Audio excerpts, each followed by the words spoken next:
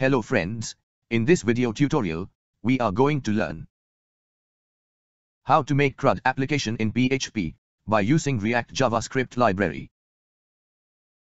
There are many viewers has requested us to make video tutorial on React JavaScript with PHP.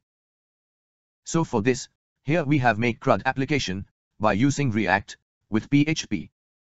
For learn any new web technology, so we have to start with CRUD application. Because in CRUD application, all fundamental uses of new web technology has cover. So here, we have going to start PHP CRUD application with React JavaScript library. Do you know why we have used React framework? Because by using this React framework, we can make single page application. That means all insert update delete operation will be done on single page without going to another web page. So in this part, we will show you how to install React in our local computer. So before install React in local computer, there must be Apache server, PHP, Node.js and MySQL database. Here Apache server has been used for run PHP code because PHP has been used Apache server as core server. After this, PHP has been used for handle CRUD operation request from your React front end. Next Node.js and NPM has been used for React front end with Vite. And MySQL database server has been used for database operation. So this all must be installed in your computer before you have started making CRUD application. Now we want to download and install React JavaScript library, so here we have used Vite. Do you know what is Vite? If you not know, so first we have share information regarding Vite. So Vite is a front-end tool, which is used for building fast and optimized web application. Vite is designed to provide a faster and more efficient development experience for building web application. And it is primarily focuses on JavaScript framework like Vue, React and Svelte. So now we want to download React framework by using Vite. So first we have goes to command prompt. And here we have goes into directory from which we have to run PHP application. Now for install React framework by using Vite, so here we have run this command. So under this command, PHP React CRUD is directory, so it will create this directory. And first it display list of JavaScript framework, and from this framework, we have to define framework. So for select React framework, we can press arrow down key, and we can select React, and press enter.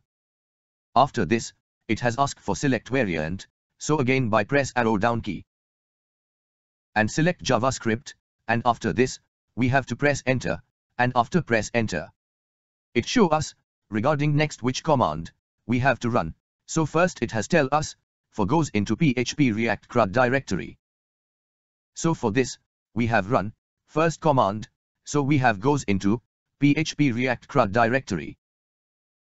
After this, it has asked for run, npm install command, so we have run this command. So this command will start download, React framework, under this PHP React CRUD application. It will take some time, and it will download only necessary library file of React framework. So here, we can see that, React framework has been downloaded. Now for check React framework is installed or not, so for this, here we have to run this command. So after run this command, we can see that, server has been start, and it has provide us base URL of our React application. So we have copied this URL, and goes to browser, and paste it. So here, on browser, we can see homepage of our Vite plus React framework home page. That means React is successfully installed in our computer.